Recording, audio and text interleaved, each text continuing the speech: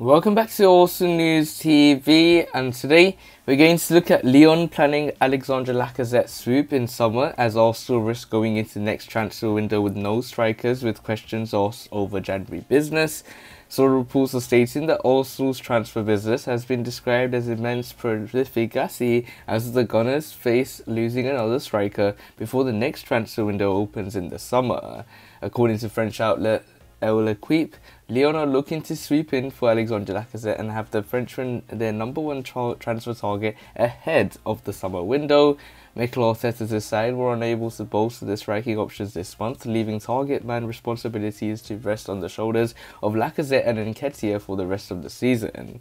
Former club captain Aubameyang was exiled from the first team following a dispute with the Gunners boss over failing to return from a break in France as agreed, and is set to sign for Barcelona in a free transfer.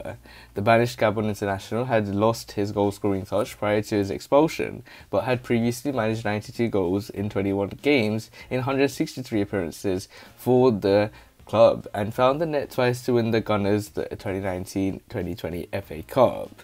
With while Aubameyang's absence hasn't been felt too deeply at the Emirates yet, with the club's youngsters pitching in goals have dried up in recent weeks. Lacazette has grasped the opportunity to be both Arsenal's target man and skipper, scoring five goals in all competitions this campaign, while Nketiah has proven to be useful for the Gunners with five goals in the Carabao Cup, but they just have three goals in the Premier League combined this season.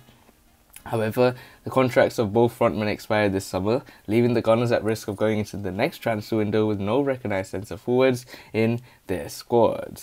Now reports suggest Lacazette, who has turned down talks to extend his stay in North London, will be snapped up as soon as the season reaches its conclusion.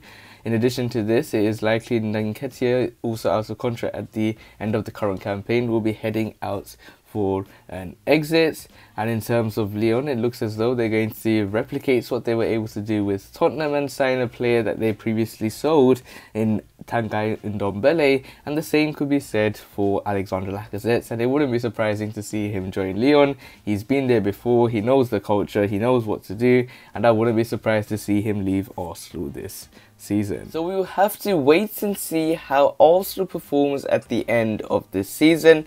If you want to see more daily videos from Arsenal News TV, make sure you click the subscribe button, hit the like button so I know if you enjoyed the video, and share the video to your awesome friends and family. Click one of the videos on the screen and I'll see you there.